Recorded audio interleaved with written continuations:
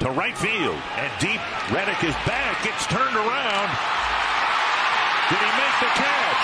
No, the ball is gone.